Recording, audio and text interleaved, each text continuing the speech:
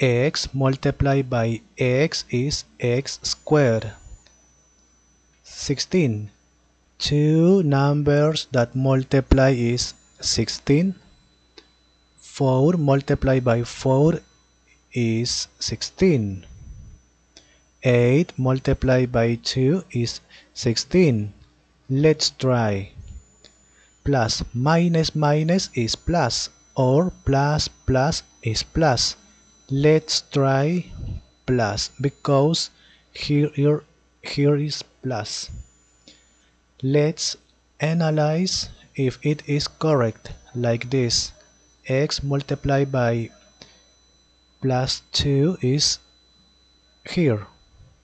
Now x multiplied by plus 8 here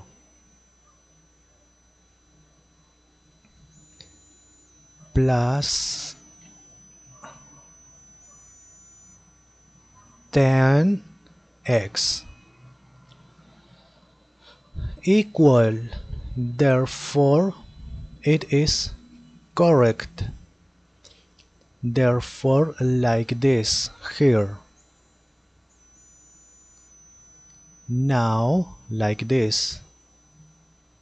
Equal 0 multiplication. Therefore this factor equal 0 or this factor equal 0